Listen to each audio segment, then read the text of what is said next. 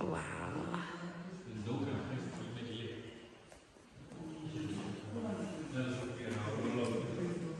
These though.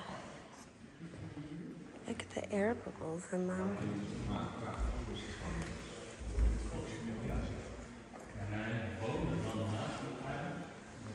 Everything about this is amazing.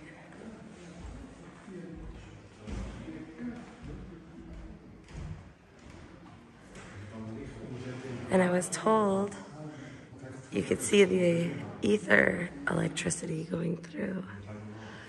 Look at this big thing. With the spindle.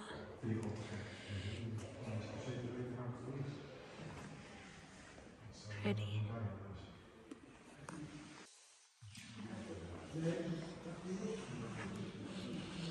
There it is in its entirety.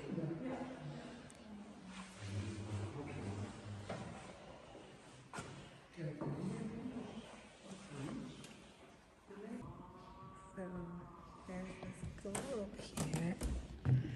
And what does that say there? What does that say?